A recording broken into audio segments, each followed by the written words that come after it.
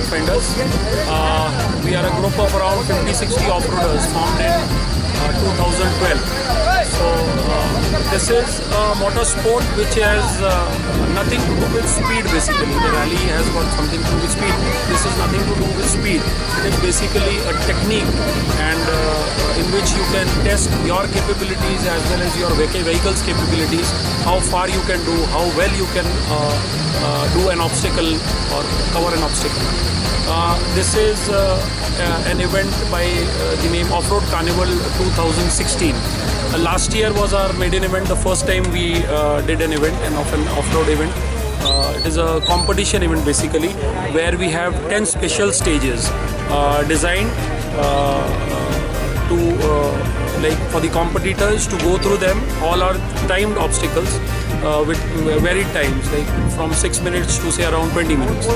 Apart from these uh, 10 obstacles, we have two special challenges. One is the Chiefs Challenge, which is a pure winching challenge where you have to take down your vehicle and climb uh, the obstacle upwards uh, with the help of uh, the winch. And the second one is a trailer challenge, where you have to attach a trailer to your jeep, take it uh, to the course, bring it back in reverse and park it.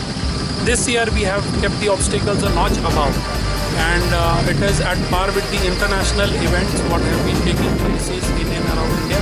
The uh, biggest one being the RFC India. This time, all over India, how many entries did you get? We have uh, right now we have 45 entries. I personally have been doing it from right from 2006 when I started off-roading. It was uh, a necessity. I am into real estate and I had to go to places, uh, look for land, and those places were not reachable by road. So by default, I had to put my foot. This is the Pune Carnival. This is the second year. First year was awesome. It was, I would compare it to RFC, which is like an international uh, standard, standard thing. This is superb. This is the third uh, SS that we are doing.